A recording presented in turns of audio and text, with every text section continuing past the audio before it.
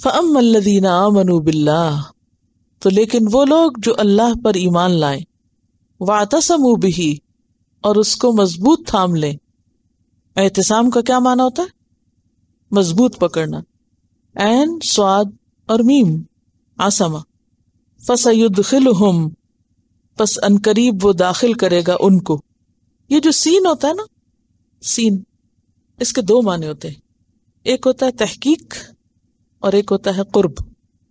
ज़्यादा बोझल तो नहीं हो जाते आप। इनशाला इससे आप इंजॉय करेंगे कुरान को। अगर आपको ये दो बातें याद आ गई कि इसमें कुर्ब का माना भी होता है तहकीक का माना भी होता है तो एक तो एक यकीनी बात है। और दूसरा यह कि जल्द हो जाएगा, देर की बात नहीं है। फसयुद खिलोम जल्दी दाखिल कर लेगा। यकीनी तौर पे होगा और जल्दी होगा। तुम इस नूर से ताल्लुक तो कायम करो।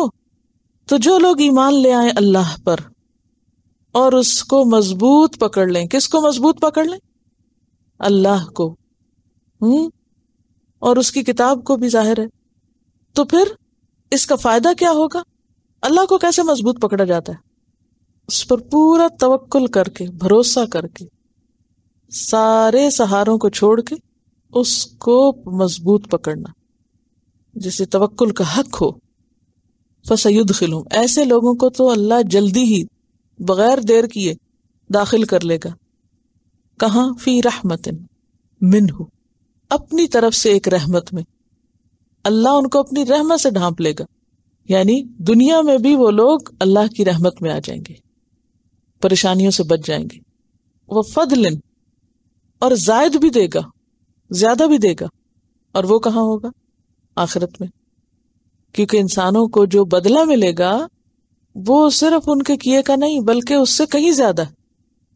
आप देखिए कि थोड़ी देर के लिए जरा सोचिए कैलकुलेशन कीजिए कि जब से आप जवान हुए हैं, जब से आपको कोई जॉब मिले और कभी ना छूटे और हमेशा आप काम करें और उस सबसे पैसा बनाएँ और चालीस साल काम करें तो ज़्यादा से ज़्यादा आप क्या खरीद सकते हैं? अच्छी से अच्छी जॉब से भी आप ज़्यादा ज़्यादा क्या कुछ खरीद सकते हैं?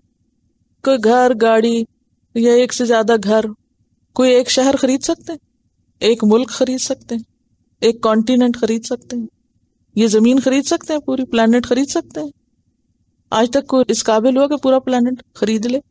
कि मेरे पास इतना माल हो गया है और दुनिया का अमीर तरीन आदमी, बहुत माल है मेरे पास, मैं सारी ज़मीन खरीदने लगा नहीं, लेकिन आप अपनी पूरी ज़िंदगी में नहीं अल्लाह को देते, कुछ हिस्सा भी देते हैं, उसके बदले में वो आपको ऐसी जन्नत देता है। अर्द हसमावात वल जो सिर्फ़ ज़मीन तो क्या आसमानों ज़मीन के बराबर है? सिर्फ़ उसकी अर्ज़, चौड़ाई। यही फजल है ना? कि हम पूरी ज़िंदगी भी खपा जाएँ तो हम वो कुछ ले ही नहीं सकते यहाँ दुनिया में भी, और आखिरत में भी नहीं ले सकते। इसलिए कि दुनिया में अगर आपको अच्छी से अच्छी चीज़ भी मिले तो वो भी पुरानी होने वाली, खराब होने वाली, मगर जन्नत में जो कुछ मिलने वाला है, उसकी वसत और कसरत अपनी जगह, फिर उसकी जो क्वालिटी है, उसकी कोई मिसाल ही नहीं है। तो यही अल्लाह ताला फरमाते हैं कि एक तो सच्चा पक्का ईमान लाओ, फिर भरोसा मुझ पे करो। पकड़े रखो, मुझे छोड़ना नहीं। क्योंकि हम क्या करते हैं? जरा सी कोई बात हुई, फ़ौरन मायूस होकर बैठ जाते हैं, फ़ौरन रोने धोने लगते हैं, फ़ौरन डिसहार्ट हो जाते हैं, फ़ौरन हमारे सामने अंधेरे छा जाते हैं। हम समझते हैं, अब तो दुनिया में कुछ रह ही नहीं गया। अब तो कुछ होना ही नहीं। ये तवक्कुल की कमी की अलामत है। जिसको अल्लाह पे भरोसा होता है, उसका बड़े से बड़ा नुकसान भी तो कहता है, अल्लाह जो मौजूद है, गम किस बात का? वो तो बाकी है ना। सब कुछ भी इंसान से चला जाए, क्या वो बाकी नहीं? तो जिसने उसको पकड़ा हुआ हो, उसको किसी चीज़ के जाने का गम क्या हो सकता? है उसे सारी दुनिया भी छोड़ देना अगर।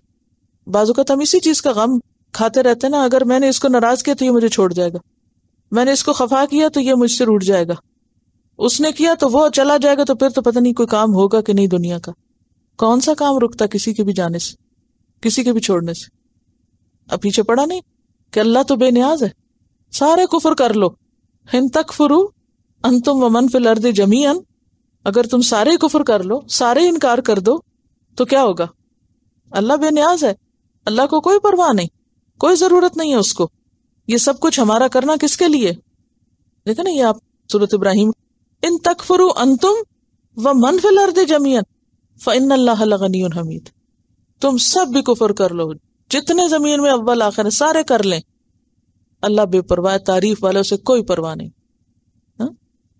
तो बात यह है कि हमारा कोई दीन का काम करना, कुरान पढ़ना, पढ़ाना, सीखना, सिखाना, ये सब किसके फ़ायदे का है? हमारे अपने फ़ायदे का अल्लाह पे कोई एहसान है? बाजू का तो ऐसा होता है ना, कोई छोटी सी बात होती है तो आप क्या सोचने लगते हैं? मैं कोर्स छोड़ देती हूँ। जी? अब नहीं सोचते? अब इनशाला इनशाला उम्मीद है कि ये आगे भी चलेंगे, क्योंकि इंसान वो सब देख के फिर वापस अपनी खुशी से पलटता है जिसका मतलब है कि उसने पक्का इरादा कर लिया कि इनशाला वो इस काम को करेगा। तो बहरहाल, लोग नमाज़ छोड़ बैठते हैं। आपने सुना होगा कि कोई जरा सा हादसा ज़िंदगी में हो, नमाज़ छोड़ दी, दुआ मांगनी छोड़ दी ज़िक्र असकार छोड़ दिया, सदका खैरात छोड़ दिया। सबसे पहला काम जो हम छोड़ते हैं किसी भी नुकसान पर, वो अल्लाह की जात। मायूसी, दिल छोड़ बैठना, दिल को छोटा करना, हद से ज़्यादा गम इख्तियार करना, ये क्या है? अल्लाह पे तवक्ल न होना। ये ईमान की कमज़ोरी है। तो ज़रूरत किस बात की है? अल्लाह पे सिर्फ़ ईमान नहीं, बल्कि अल्लाह को मज़बूत पकड़ने की भी, कि कुछ चला जाए। यार अब तुझे नहीं छोड़ना। तू तो बाकी है। क्यों कहते मायूसी कुफर है? अल्लाह मौजूद है, फिर मायूस है। आप देखिए कि अगर आप वाकई शौरी नमाज़ पढ़ते हैं ना तो एक नमाज़ के बाद दूसरी नमाज़ आपको थाम लेती है। इधर से आप गमगीन हुए, किसी ने कुछ कहा, किसी ने रुलाया, आपको कुछ किया, उधर से आप अगली नमाज़ में खड़े होते हैं। अल्हम्दुलिल्लाह रब्बिल आलमीन अर्रहमान अर्रहीम मालिक यौमिद्दीन, इय्याक नअबुदु व इय्याक नस्तईन। तुझसे मदद चाहते हैं। ऐसा मज़बूत सहारा मिलता है कि आप सोच ही नहीं सकते, सिर्फ़ शौरी नमाज़ की ज़रूरत है। नबी सल्लल्लाहु अलैहि वसल्लम, जरा सा भी गम आता था तो क्या करते थे? मस्जिद की तरफ़ भागते, नमाज़ की तरफ़ दौड़ते थे। कभी सोचा आपने क्यों दौड़ते थे नमाज़ की तरफ़? कभी आप अपने ऊपर लेकर देखे ना कि इधर से किसी ने कुछ किया, उधर से आप हाथ बाँध के खड़े हो गए।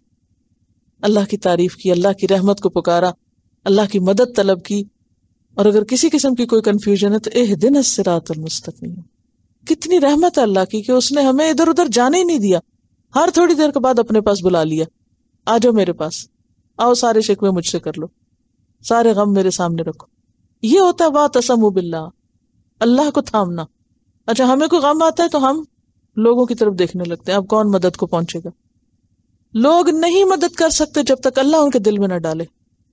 अगर अल्लाह किसी के दिल में हमारे लिए रहम ना डाले तो कोई भी नहीं कुछ कर सकता।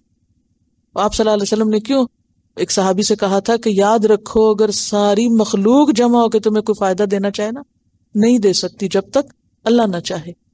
और अगर सारे मिलकर तुझे कोई नुकसान देना चाहे, नहीं दे सकते जब तक अल्लाह ना चाहे। यह है अल्लाह को थामना। इतना यकीन होना कि कुछ नहीं होगा अगर अल्लाह ना चाहे तो। और शैतान का काम क्या होता है? सबसे ज़्यादा यही आके हम पे हमला करता है और अल्लाह से काटता है। ये दुश्मन है ना खुला। तो फरमाया, जो अल्लाह पे ईमान लाएगा, उसको थाम लेगा मज़बूत, अल्लाह उसको अपनी रहमत में जल्दी ही ले लेगा, समेट लेगा और छोड़ेगा नहीं उसको। उसने अल्लाह को पकड़ा, अल्लाह उसे छोड़ दे, ये नहीं हो सकता। वह फजलन ज़्यादा भी देगा। वह हिम और उनको हिदायत देगा, रास्ता दिखाएगा, इलही ही अपनी तरफ़ आने का। कौन सा रास्ता है, जिसका नाम क्या है? सुरातम मुस्तकीमा, सीधा रास्ता। ऐसे लोगों को सीधा रास्ता मिल जाएगा। वो भटकने से, फिसलने से, गिरने से, टूटने से बच जाएँगे। और सिरात कौन सा रास्ता होता है? जो खुला सहल रास्ता हो। यानी कि उसमें वसत भी हो और सहल भी हो और जिस पर चल के मंजिल पे पहुँचे। लेकिन उसके साथ यह है कि जो हिदायत का रास्ता है ना, यानी जिसको हम हिदायत कहते हैं, सिरात मुस्तकीम जब साथ लगता है, यानी खाली रास्ता दुशवार गुजार है, लेकिन जब अल्लाह की तरफ़ जाने की हिदायत उसमें साथ शामिल होती है तो वो ऐसा रास्ता होता है कि जिसमें हर चीज़ वाज नज़र आ रही होती है ना। ठीक है? अच्छा। मुस्तकीम जो होता है ना स्ट्रेट होता है स्ट्रेट और उसके निशान बिल्कुल वाजे होते हैं। हाईवे जिस तरह आप कह सकते हैं। अब हाईवे में एहतियात भी तो चाहिए ना, चाहे वो हाईवे है, लेकिन बहुत से लोग हाईवे पे जाने से घबराते हैं। तो सिरात मुस्तकीमा, सीधा रास्ता स्ट्रेट रास्ता जो डायरेक्ट आपको ले जाए तो अल्लाह ताला उनको सीधा रास्ता दिखा देगा। किन को? जो ईमान के बाद अल्लाह को थाम लेंगे। वो भटकने से बच जाएँगे, ये मुराद है।